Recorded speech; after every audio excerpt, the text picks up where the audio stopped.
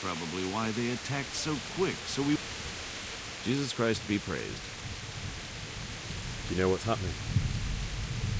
Don't ask me, I don't know shit. Just a minute ago, I was sleeping after a day's watch at the gate. Take care. Tell the people outside the walls to prepare for attack.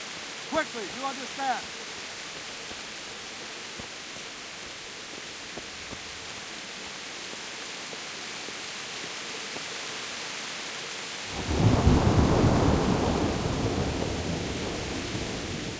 What's going on?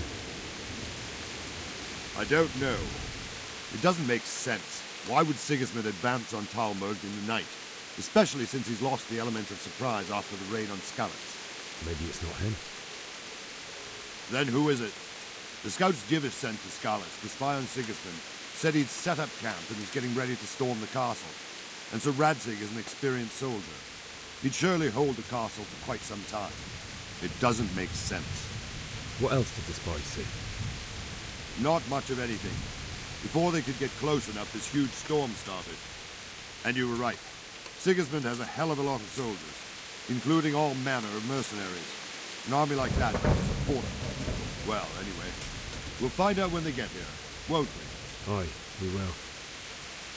Good luck to you.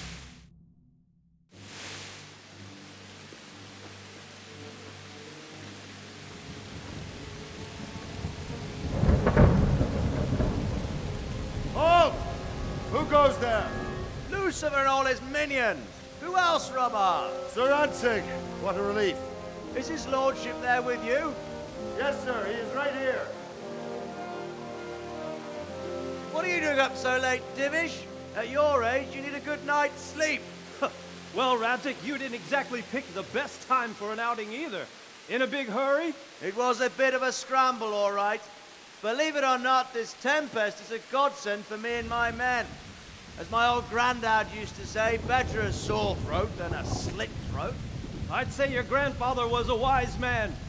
Your messenger told us what happened. Messenger? The lad you sent to warn us. He's alive? He made it to you? He's here with me. He only got away by the skin of his teeth, though. God. A brave young man. But tell me, friend, how on earth did you manage to get away? Thank God for this tempest. When it began, Sigismund's Tatars crawled into their holes and left us storming the castle for more clement weather. We were able to sneak out right under their noses. The Lord be praised. We wouldn't have stood a chance against them. Would you like to spend the night in Talmberg? No, no. When Sigismund finds the castle empty tomorrow, he might come looking for us. We'd only be exposing you to danger.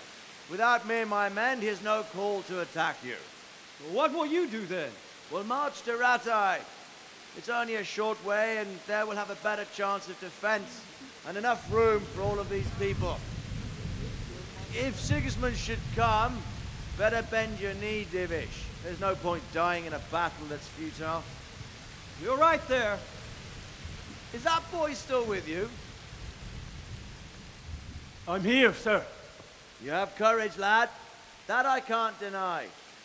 I am sorry about what happened. Would you care to join us? I'd like to, sir, but first I have to return to Skalitz. Are you mad? What do you want there? I can't leave my mother and father. I won't leave their corpses rotting in the street. I'll join you once I've taken care of them. Don't even think of going back there, you donkey. Are you tired of living? But, sir! Quiet! I'm sorry about your father, but getting killed as well won't help him. Divish, make sure that lad doesn't budge from Talmberg until things quieten down. Not to worry, friend. Anyway, he's injured and needs to recover. I'll lock him up here as if he were Havel of Baldic. I've seen you've grown a thick skin since your tribulation, sir. But thank you. We'll meet again when circumstances are more favorable. Farewell. Farewell, friend, and good fortune. Give my regards to Sir Hanush.